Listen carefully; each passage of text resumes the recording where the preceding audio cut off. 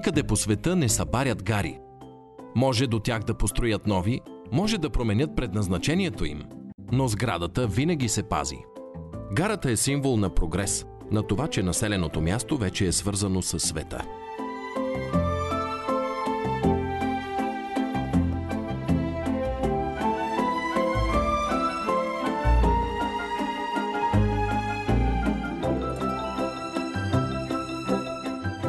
Гара Берковица.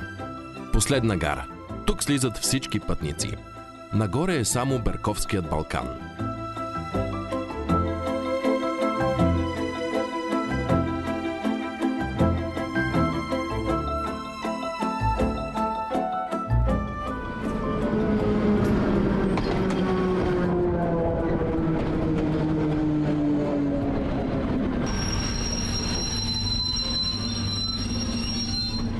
Изплува една забавна история на Радичков.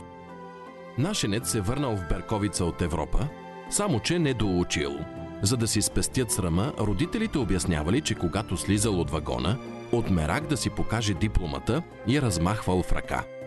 Но вятърът да вземе да я духне, тъй я отвял чак на връх ком. И те така си останало детето без образование. От гарата започва нашето пътешествие из Берковица. Не ни посреща духова музика, но ни посреща духа на този град. Берковица е много повече от духовата музика.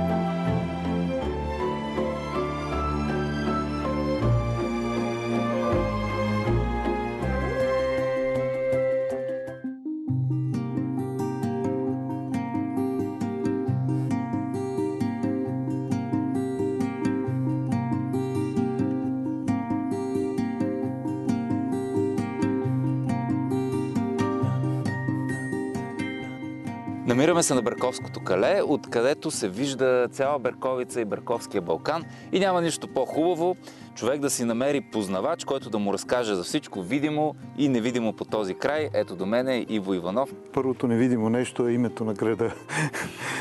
Звучи много красиво. Думата Берковица смята, че идва от латински израз за хълмове на победата, Берквицис, но предполага се, че става дума за някаква победа на Марк Лицини и Крас, когато се завоюва провинция Мизия, но дали е така, никой не знае с точност, защото по-интересна е една друга победа тук в този район. Тук са живели тракийското племе Трибали. Това са единствените траки, които са успели да се опрат на славния Филип Македонски. Даже той губи едното си око в битката с тях. След това и сина му Александър Македонски не успял да се справи с тях. Тези хора, които не се предавали, минали оттам Дуна, надсмивали му се, знаели, че той няма да ги преследва и чакали да тръгне да покорява изтока и Индия, за да се върнат на родните си места, както се казва. А, но тук са хората такива балканджи, даянджи, а, работливи хора и интересни хора, които никога не са страхували от а, това, което им носи времето. И се убедите сами, когато слезете после в града. Все пак трябва да отбележиме, че думата Берковица има и до някъде славянски корен. От берег, от бряг. А, фамилията Беркович е разпространена в целия славянски свят, но това не е важно. Интересното е зад нас Берковския Балкан. Между другото, ние сме на Калето. Това е крепостта, откъдето се охранява пътя за Сердик. А, сегашния проход Петрохан.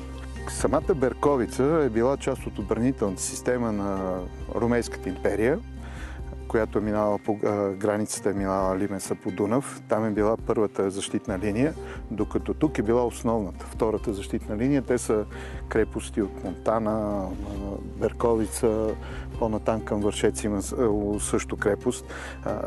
Те държат просто самия Балкан. Ако те паднат, вече пътят през Балкана е отворен.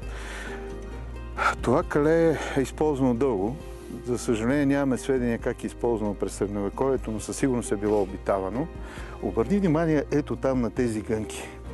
А, тук се е крил прословутия воевода Чупунин, който, когато дига неговото възстание, за да не страда населението долу, изтегляха и дутите си нагоре в планината и така и никога не са могли да го турците притиснат достатъчно, защото още тогава е минавал през хребета на планината и отивал натам към Сръбско. Берковица днес е малко китно граче, което наистина си заслужава да дойдете да видите, защото тук в едно са събрани епохи, история и настояще, които наистина показват цялото пастрило на България за последния век.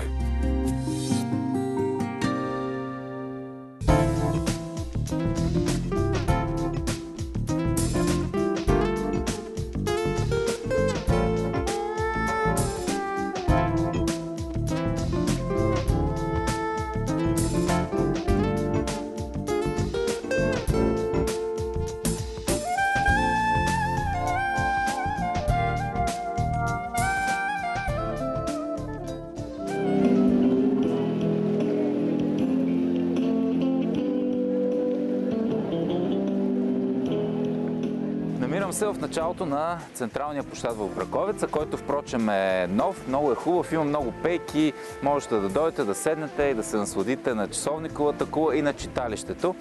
Разбрах, че тази година, впрочем, се отбелязват три важни кръгли годишнини. Едната е 120 години духова музика в Берковица, втората е 150 години читалище Иван Вазов и третата е 260 години часовникова кула.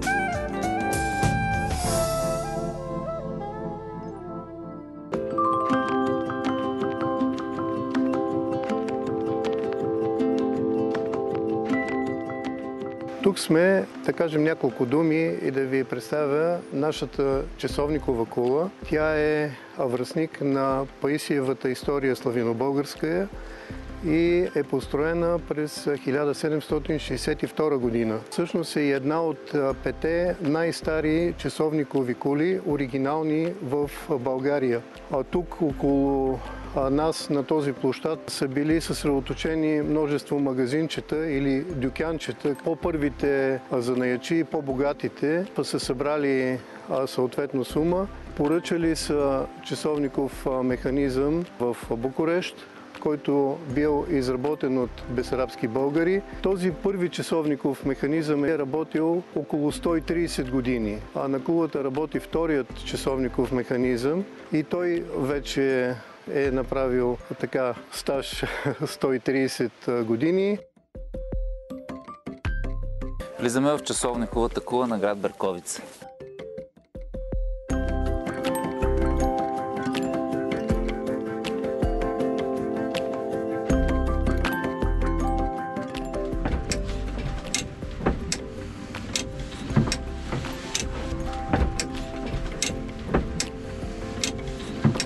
Точно където се намира механизмът на часовника с човека, който го навива всеки ден. Ами, значи това е часовниковия механизъм. Състои се от две макари. Това е механизма на часовника, а това е на камбаната. Осъществява се ежедневно навиване на всеки 24 часа. Сегашният е на около 130 години. 130 години още да. функционира? Все още функционира. Значи ето, това въже в момента след 24 часа ще бъде долу до земята стигнал. Това е часовниковия механизъм. Ага. А това въже на камбаната също ще спре додолу. На, 2, на 60 минути е това рамо се изкачва догоре. В момента, в който нали, имаме още 7-8-10 минути, това махало ще падне долу и ще задейства тая част от тук, която вече ще развърти камбаната.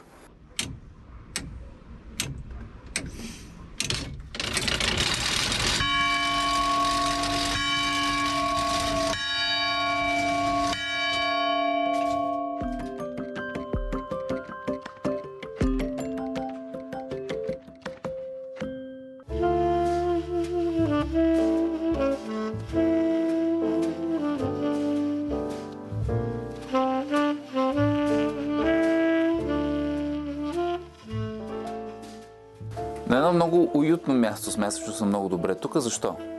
Това е етнографския музей на Берковица. Той се намира в Сърбиновата къща. Малко хора знаят това, че когато кажа думата Шоп и Шопско, хората свързват района на юг от, от Стара планина и Софийското поле.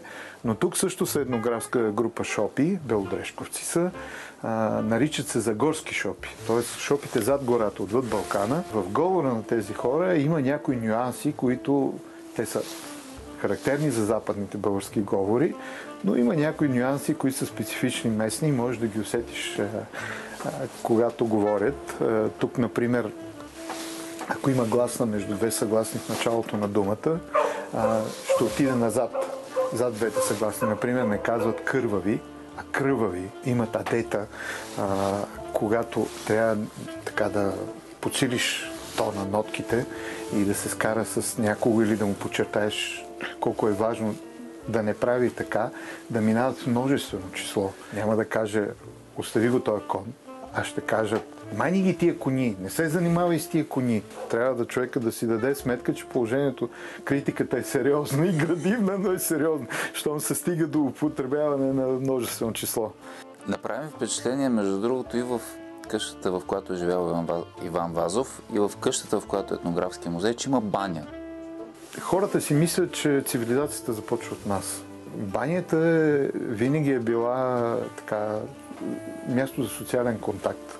По-заможните хора са могли да си позволят така наречения вътрешен санитарен възел. Те не могат да се задоволят с някакви средновековни стандарти, а те живеят вече в едно друго време. Това, което коментирахме в къщата на Вазов е, че ние можем да завиждаме на тези хора, особено след освобождението.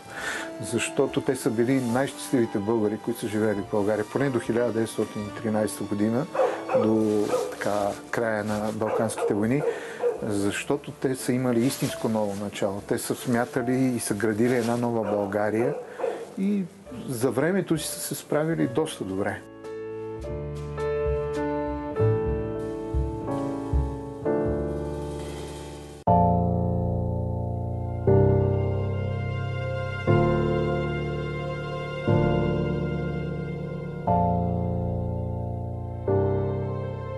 Съм при църквата Свети Николай Мерликийски чудотворец и училището, което е построено заедно с църквата през 1871 и 2 година. По това време горе-долу статистиката е, че София е била 4-5 хиляди по-голяма от този град. Бил наситен с много занаяти, керамика, дърворезба, медникарство. Тук зад нас, зад храма е имало едни полета, в които се отглеждали рози, е имало розово масло сбирката картини, скулптури, икони, графика, приложно изкуство и карикатура. Това са фондовете. Е започната да се събира още от 66-та, 69-та година се открива. 71 година вече има документи за призната галерия и от 80-та година ние сме в тази реновирана сграда вече на старото класно училище. Изложили сме в една зала 20 и няколко икони и фактически те бяха събирани от черкви, които не работят вече и иконите не са в култова употреба. В момента сме изложили във връзка с 115 годишнината от стар наш художник Кирил Воденичаров Рукито, акварели от Стара Берковица имаме поне 40-50% на знаковите места в Берковица, акварели от Стария град, рисувани от 30 и некое до 60-70 година.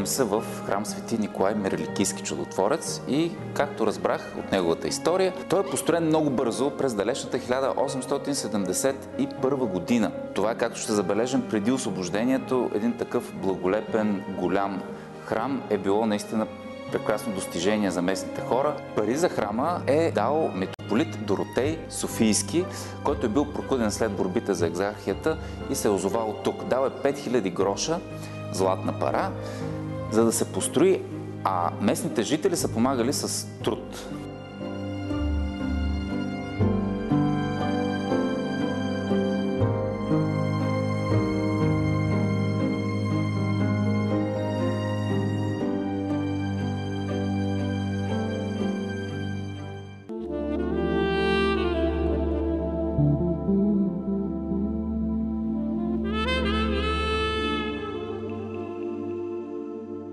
Точно до Берковската река, под калето, се намира къщата, в която е живял Иван Вазов.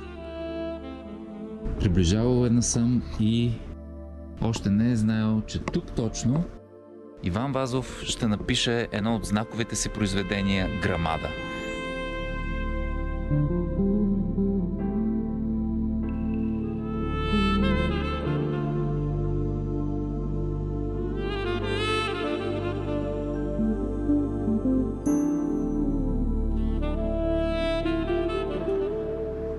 всякой камък има уста, уши, очи и му дума проклет, проклет и към него сочи.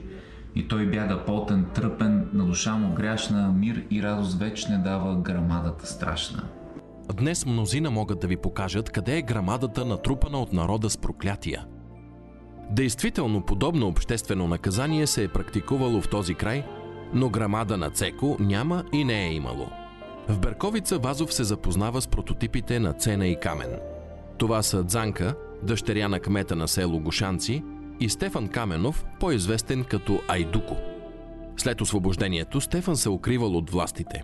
Впечатлен от разказа за трагичната и силна любов на Дзанка и Стефан, Вазов поискал младата жена да го запознае със своята изгора. Слизайки от Балкана, четата на Стефан обградила къщата – Харамията влязал при съдията, като предупредил хората си, че ако не излезе до 2 часа, да влязат и нищо живо да не оставят. За щастие на поета и на българската литература, нещата приключили мирно, а съдията и поета продължили да се срещат на чашка. А иначе и пеклийската къща още пази спомена за своя виден обитател –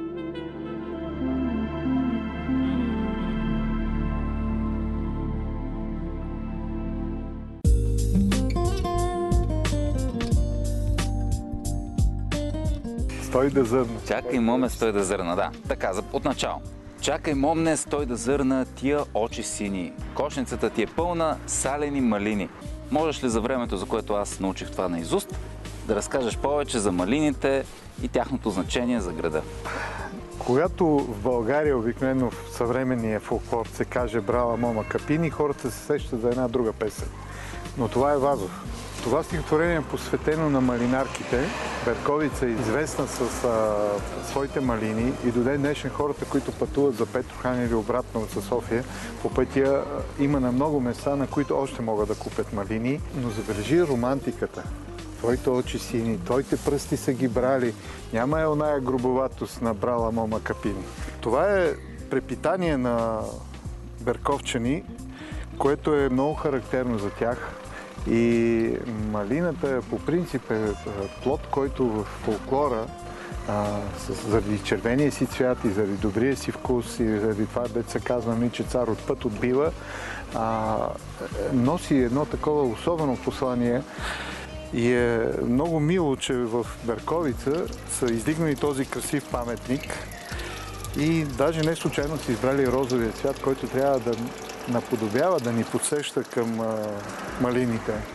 Тези малини са сред причините след освобождението Берковица да изгуби своя водещ статут пред съседната голяма Кутловица. През 1893 година княз Фердинанд заедно с Мария Луиза отсядат в Берковица на път към Лом и оттам за Виена. Берковчани дарили на наскоро венчаната светлейша двойка сребърен сервис – Князът поискал общината да му дари хълма Калето, за да си направи там ловен дворец. Но първенците на града се опънали. Ловният дворец щял да им съсипе малиновите насъждения. Обиден, Фердинанд върнал сервиза. Подносът все още се пази в етнографския музей. Котловчани шпионирали скандала и след като Фердинанд пристигнал в техния град, коленопреклонно предложили на княз Сакско-Бургоцки да дари своето име на града. Така голяма Котловица станала околийски град, а централната власт взела да заобикаля Берковица.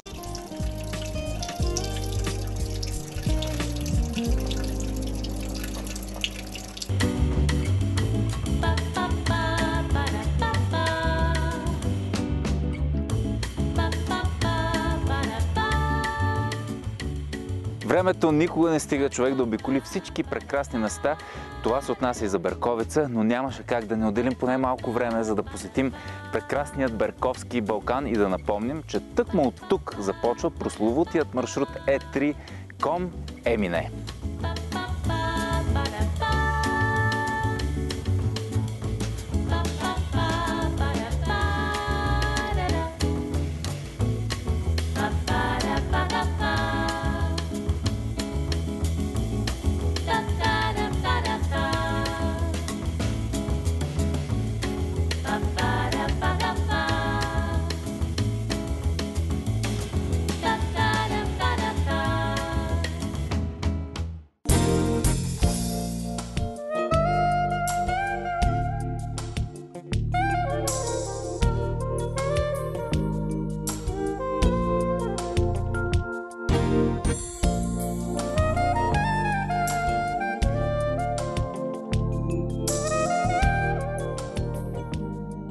Ако некой си го не може тук, ние да няма да си го може. След като посетихме Берковица, разбрахме защо това е местен израз. Тук са творили Иван Лазов, Йордан Радичков, много художници, гранчари, ювелири. Ние бяхме тук, а сега е ваш ред.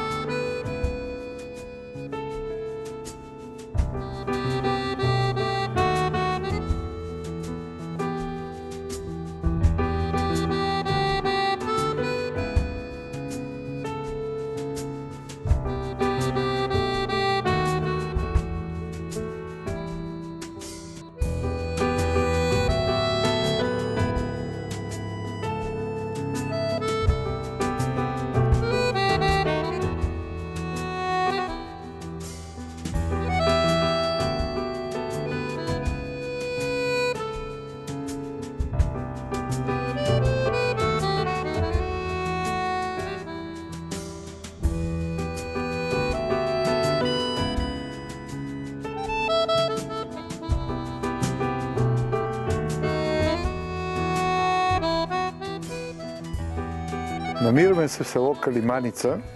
Това е родното място на Радичков. Йордан Радичков е знаков за този край, особено неговите герои. Но той, колкото и да се опитва да вникне в драмата на тези хора, не може да опише изцяло трагизма, който преживява специално неговото родно село и недалечното от тук село Живовци, които в времето на социализма се сблъскват с гигантоманията, решението да се построи един грамаден язовир. Според първоначалния проект до тук е трябвало да има вода и да бъде за лято. Когато започват да изселват хората към 70-те години, мнозина не желаят да си тръгнат. Все пак това са родни места. Този храм, който изглежда доста сюрреалистично, е точно паметник на цялата мърлящина на социализма, ако щете. Храма до преди 15 на години все още имаше покрив. Сега и покрива е рухнал, което значи, че ще падне и градежа. Може би последно ще остане да стърчи камбанарията. Тя няма камбана, така че няма звука кого да притеснява. Селото е напълно изличено. Няма основи дори на къщи, докато в Жиловци все още тук там е от водата понякога изплуват къщи. Изплуват стълбове на лампите уличните. Тук всичко е замряло, но пък за радост се опитват да произвеждат нещо, да използват земята, което е хубава метафора за едно начало ново, знаете, на един от героите на Радичко винаги вадеше едно дърво и казваше, абе, пусто не ще да се хване. Природата е винаги по-силна от всяко човешко действие. Това, че в бившия център на селото все още стои един дъб, който е на над 300 години. За радост е оцелял и паметника на загиналите в войните за Обединението на България. Но природата си знае своето и да бъде все още там. Тоест, духовете на тези хора, които са живеели тук, които са раждали, умирали, има къде да се приютат.